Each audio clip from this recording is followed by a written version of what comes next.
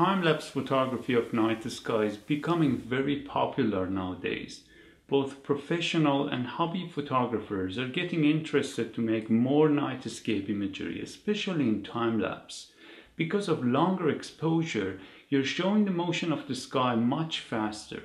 Usually in real time, nobody can realize the motion of the sky caused by the earth rotation. Depending on how long the exposure is, you can capture much deeper details of the night sky compared to real-time video. It's almost impossible to capture details of the Milky Way we can see in time-lapse video with current technology of real-time videography.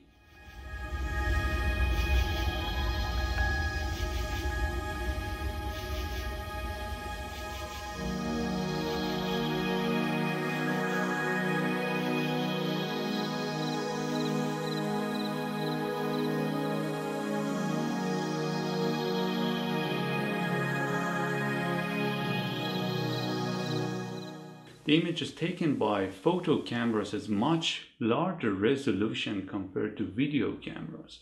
So instead of shooting only in full HD, for example, with normal DSLR cameras, you can go up to 4K or even larger in videos when you're shooting in time-lapse. Many of time-lapse photographers who are doing this more seriously, they're using motion control systems from dolly rails which the camera can move a couple of meters or more to panning and tilting devices in various axes. But once you have a tracker, star tracker like Polarie, you can also use it for panning or tilting in a time-lapse motion. So you can turn your normal star tracker mount for astrophotography to a panning device for time-lapse motions.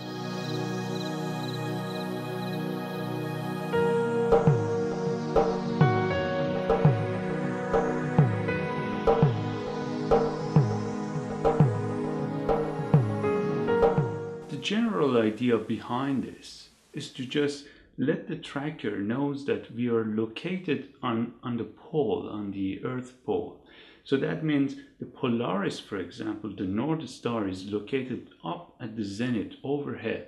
That means a tracker like this need to point upward because this is the hole that you need to look through and find Polaris. So from our location, as we are introducing to the tracker, Polaris is at the overhead.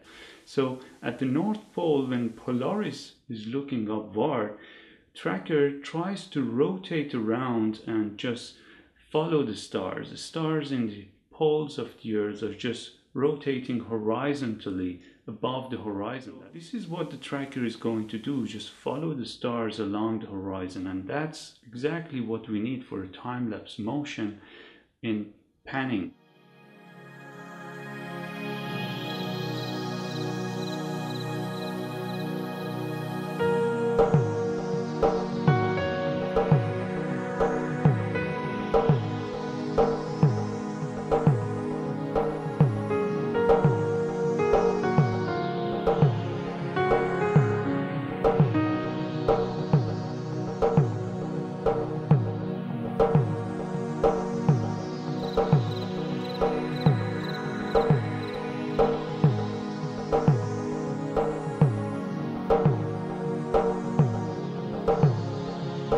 Also use your star tracker mount Polarie for tilting upward or downward. That's another creative use of the tracker. And in order to do that, you just need to introduce Polarie that we are located at the equator. That means Polaris, for example, is right at the horizon. Therefore, the tracker will be vertical like this.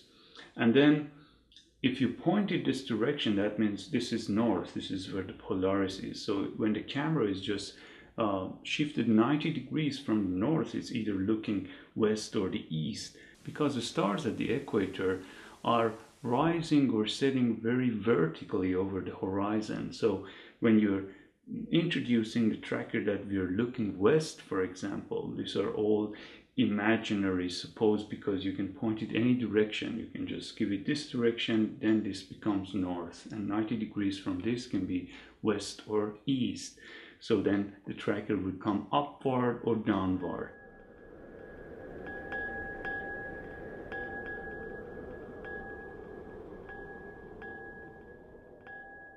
the most common use lens in time-lapse photography is generally in the range of 14 millimeter to 24 on a full frame sensor camera.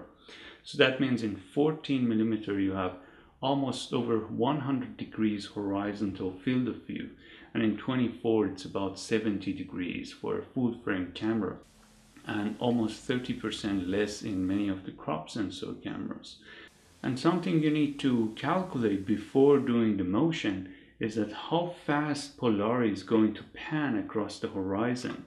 So usually any star tracker mount is following uh, stars with the speed of the Earth rotation, which is 15 degrees per hour. That's why in 24 hours we have 360 degrees one complete rotation.